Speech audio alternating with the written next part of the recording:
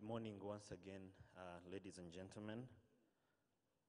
Honorable Governor of the National Bank of Rwanda, Honorable Deputy Governor of the National Bank of Rwanda, Honorable members of the Senate present, Honorable members of Parliament present, Honorable governors of provinces, government officials, board of directors, heads of financial institutions, development partners, distinguished ladies and gentlemen, all protocol observed. You are welcome to the Monetary Policy and Financial Stability Statement by the Governor of the National Bank of Rwanda. My name is Bob Alan, and I'm pleased to be your host this morning. As per agenda that uh, you have right in front of you, we'll have the presentation of the Monetary Policy and Financial Stability Statement by the Governor of the National Bank, Honorable John Rwangombwa, followed by a question and answer session with the audience. Distinguished guests, the presentation of the Monetary Policy and Financial Stability Statement consists of key governance imperatives of transparency and accountability of the National Bank of Rwanda. In today's presentation, the governor will talk about key economic and financial developments, monetary performance, and convey the bank's perspective on the overall economic outlook of the economy. If you wish to interact with us, you can download our MPFSS events app uh, where you can send in your questions and uh, we'll be able to read them and be able to get uh, answers. And you can also tweet us by using our hashtag uh, on Twitter, MPFSS 2019. And those that are in the room that would wish to um, send a link to uh, people home, we're all in their offices. We are live on our YouTube channel, so they can watch live uh, this event. Now, ladies and gentlemen, allow me to welcome the governor of the National Bank of Rwanda for his presentation. Governor, you're welcome.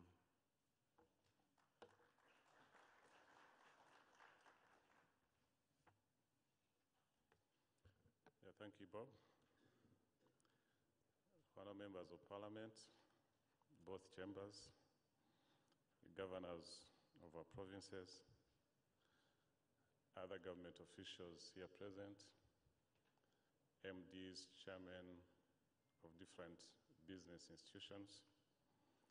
It's my pleasure to welcome you to this second monetary policy and financial stability statement of 2019. Uh, we are presenting as the National Bank of Rwanda. As usual, we invite you to present the performance of the economy, but mainly focusing on the areas of mandate of the central bank. And let me start by thanking you for accepting our invitation and be with us this morning. I'll try to make my presentation uh, brief because we invited to another meeting at 11, so we should be done by 11, and so I need to allow enough time for uh, questions from the audience. There's a lot of details in the booklet we've given you, the Monetary Policy and Financial Stability Statement booklet. It has the details of different sectors and a lot of details on the performance of the financial sector and what we expect uh, going forward. So this is the, the outline of my presentation and straight to the performance of the, glo the global economy. I've just summarized the key message we take from the uh, performance of the global economy. As you've heard, I think just uh, in July, the IMF revised downwards the performance of the global economy for this year and for next year. Uh, as you see, we expect this year to be growing at 3.2%, uh, the, the global economy, and 3.5% next year compared to 3.6%. Uh, These uncertainties or this revision downwards of the global uh, economic performance is mainly linked to the uncertainty surrounding the trade war we see between the biggest economies of the world, that's China and the US. In fact, of recent, uh, those who follow the performance of the markets across the globe. You saw uh, the markets in the US uh, really being disrupted. In fact, the US Treasury uh, bond uh, losing uh, value or falling in terms of the, its, its interest rate. Uh, the, the 10-year bond, in fact, was the one that was significantly affected. And this, as analysts were saying, signaled possible mistrust by the market of where the US economy is going. There's been reactions from the US officials, uh, and I think this week it has stabilized the market. But these uncertainties keep on affecting the global affecting the performance of the global economy. The other big factor here is the uh, uncertainty surrounding the Brexit. Uh, and so this is expected to destabilize not only the British economy, but may, may also have an impact on the, on the European uh, Union uh, economies. So these are the US, China, Europe, these are big uh, contributors to global uh, performance, economic performance, and any instability there affects the overall economy. I think here, maybe even before I go to, to, to the next uh, point there, what we bring this in as Rwanda because it has its own impact on, on our economy, and we see this in the in the export earnings because it has already hit us on the uh, commodity prices. This uh, slow performance of the global economy affects global demand, and global demand, if, when it's affected, monetary policies uh, stance really very uh, accommodative. Now, straight to the domestic economy. Uh, I think one slide we just talk about the real, the performance of the real economy. We've had uh, good performance since, since Q3 2017. As you see on the slide on the left-hand side of the screen, we're back in 2017, I think Q1, we had really had, we had the lowest performance of the economy we've, we've had for the last decade. But we see that picking up from Q2, and in fact, Q3 we started getting strong performances, uh, that is of 2017. And this has been sustained till the last quarter of Q1, that's the last numbers we got from the Institute of Statistics, at uh, the economy growing at 8.4. We at the central bank, we have what we call uh, uh, frequent uh, economic numbers we track to show the, the, the, direction of the economy. And when you look at this uh, table, I mean this graph, when you look at the way that the graphs have been going in the same direction, we expect still the real economy to, to have performed well in uh, Q2. And so we, we are confident to say that the, the projection of 7.8% for, for, this, for this year uh, uh, will be achieved.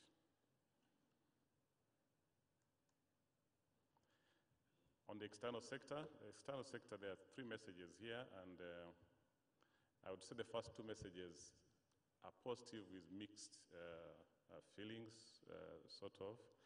The first point is on exports, and the good thing to note here is that despite the challenges we're having on commodity prices, as I said, in fact, the traditional exports underperformed, reduced by 16.7%.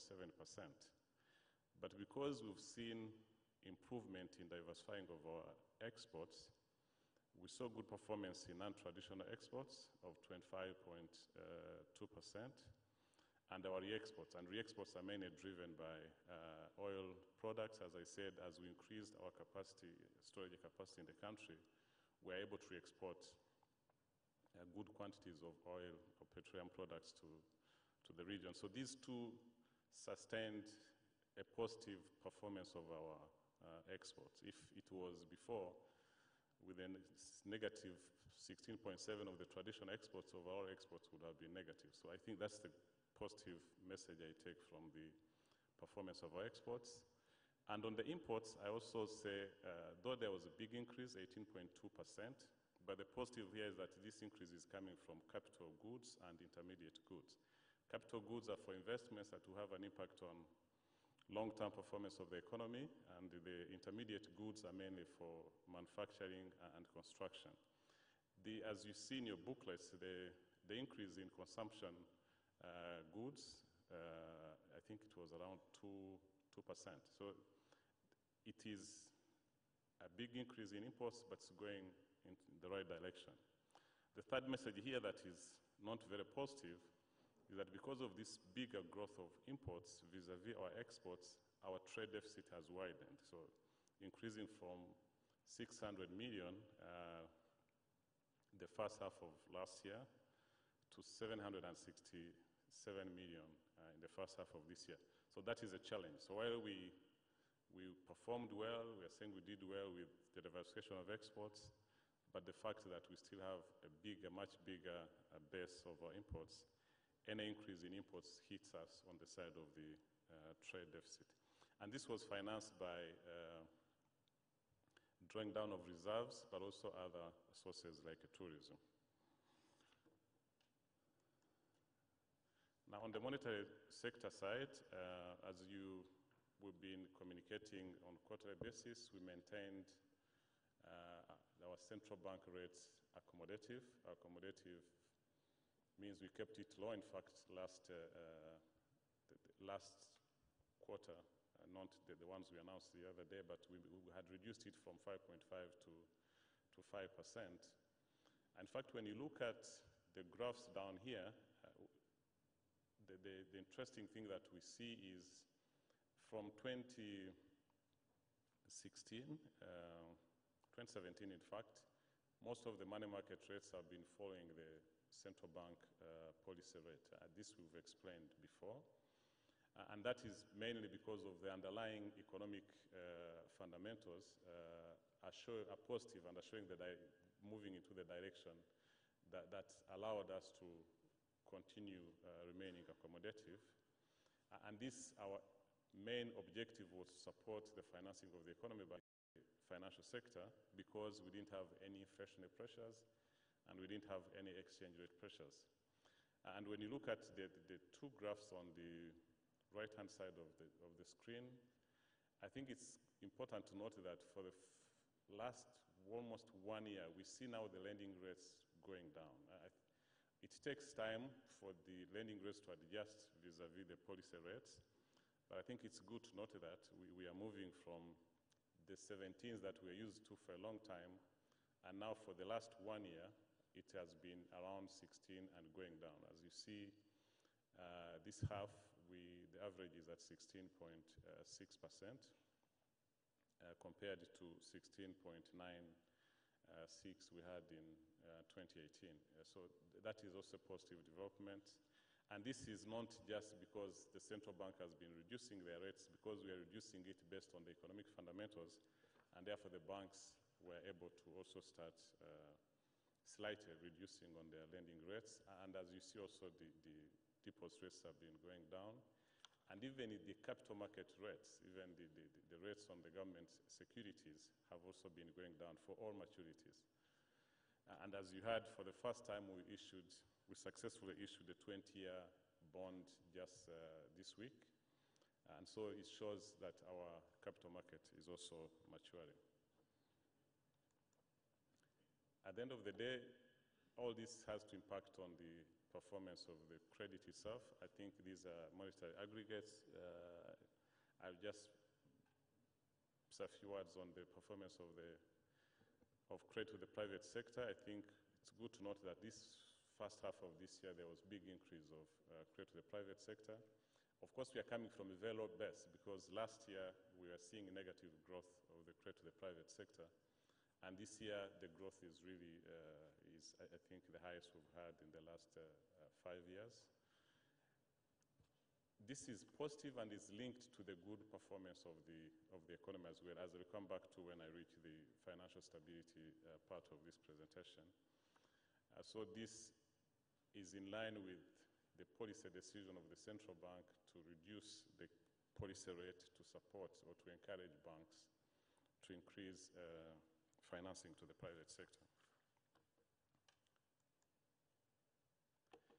So uh, our main mandate as a central bank, of course, is uh, inflation, is economic stability, and uh, for the first time, I think, in many years, we've had uh, a challenge we haven't had before. We've been having, I think, always the fear of a central bank is inflation going really high, being very high. And we are happy that over the last uh, five years, it has remained within uh, our range of between 2 and 8 percent. So our average is normally uh, targeting to have it around 5 percent. But I think for the first time, we've had it below our uh, lower band 2 percent for almost three quarters now. Uh, so we and with the accommodative monetary policy, with the performance in the financial sector increasing the lending, and with increased uh, uh, opening uh, or increased performance on the fiscal side, we expect this to improve on the domestic demand and therefore start uh, pushing up the, the, inflation. And we expect this to average around 2% for, for this year, 2019. Uh, I think that's the main message on, on inflation. And this, this low inflation was mainly caused by good performance in agriculture. So when you look at the, the different sectors of this presentation, they are more or less talking to each other. So the good performance in the economy, driven by agriculture, has had a big impact on the reduction of uh, inflation. So I think that was the summary on the, on the uh, domestic economy and the monetary sector. So talking about the financial sector, I also summarize it in uh, looking at the performance of the assets, the, the profitability of the sector, and the, the stability as our main mandate as the central bank. So generally speaking, overall, the, the financial sector, this is, this is a summary of, uh, showing the overall performance of the financial sector, increasing all including all the subsectors of, uh, of the sector. And it's good to note that this year, uh, in line with what happened in the economy, good performance of the economy, we see the financial sector assets also uh, growing uh, uh, much faster than we had in the last, uh, last year. In, in, fact, in the last two years, so we, we saw this growing by 14%. And today we are around, I think it's 54% of the of the, of the GDP, uh, uh, that is the share of our financial sector assets. So we've, but the line shows positive growth uh, over the, in fact, even when you take it back for, for 10 years, we always have positive growth in the, in the assets of the financial sector. Uh, and this is, when you see this, it's mainly driven by increase in deposits. Again, we're going to look at uh, the slide on deposits increase in uh, retained earnings, and we are happy that most of our investors are looking at extending, extending their business, not, not reaping uh, short-term returns. So most of the financial sector profit is retained for further investment, but we also saw uh, new capital injected into banks and insurance companies, and this helped grow the, the, uh, the, the, the to, to, grow the, the assets of the financial sector to increase the lending. Uh, and when we go got banks uh, as the biggest sector or the subsector of the financial sector, as I said, we saw good performance of the, uh, of the banks. Their assets were growing and their outstanding loans, which is the main contributor to the assets of the banks. Uh, more than, I think, about 57% of the assets of the banks are contributed by, by loans. And the outstanding loans, when you take year on year, it's growing by 16.6%, but also the new loans. And you see this in the, in the booklet. The, the, the demand for loans also increased, and this is linked to, to, the performance of the economy. So the demand for loans increased, and the approval rate increased, therefore we had very high increase in new authorized loans. And again, important to note here is uh, the be beginning diversification of the uh, sectors where banks lend. So agriculture increased, but still remains very low. When you look at the shares in the booklet, it still remains low, but we are happy that we see that increasing as well.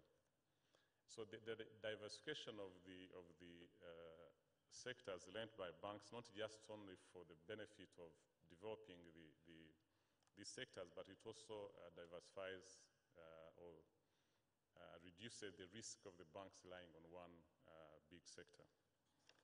So it's both positive on the economic growth performance, but also on the stability of the financial sector. We see that as a positive development.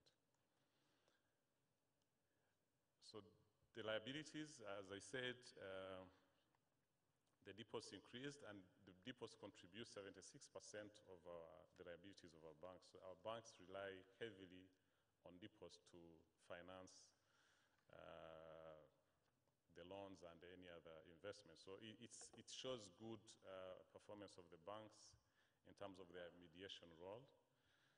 And so we saw this growing at uh, uh, 13% compared to 9.5 we had received last year. I think the concern here, uh, but it depends, I, I remember the banks might be seeing it the other way around, but our concern is that most of these deposits are short-term deposits. Only 39% of these deposits are long-term deposits. So this doesn't give comfort to banks to extend long-term loans. I, I think the different efforts that are there uh, by government to, to increase savings and increase long-term uh, deposits in banks, I think that will be is a welcome uh, development. As you know, government removed taxes on deposits in banks that will go beyond one year. Uh, and also these developments of the Ejoheza uh, will help to increase long-term resources that can be used by the financial sector to lend to long-term projects. This is our main interest as, as the regulator is on the stability in numbers, and uh, we are happy that the, our ratios